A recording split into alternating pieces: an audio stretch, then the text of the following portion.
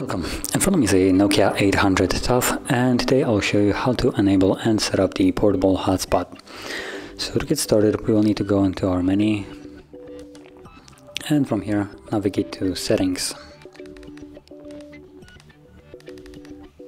Right here. And in the settings you want to scroll probably up will be faster. So go up, up and you should see enter internet sharing. Choose at that. And in here let's scroll down to hotspot settings. And let's go there.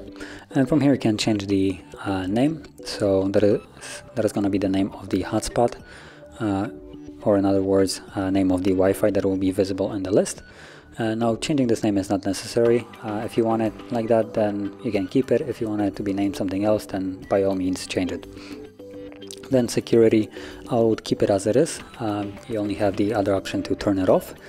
And then you have the password, which normally it's going to be some randomly generated password. So let's remove this one. And then you can type in your new password. Now I'm going to make something really easy. So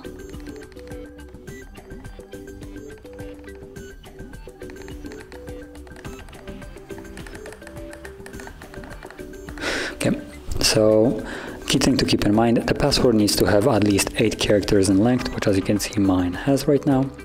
And that's about it, there is no other settings here. So once everything is set up, on save, and you can simply turn it on right up here. So you have Wi-Fi hotspot, and turn it on. And that's all it takes. Now, when you do it by the first time, it will give you a message that turning it on will also have a higher drain on the battery, so you might want to keep that in mind. Uh, but that's about it.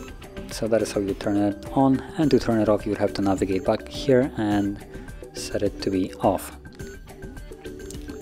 So that's about it.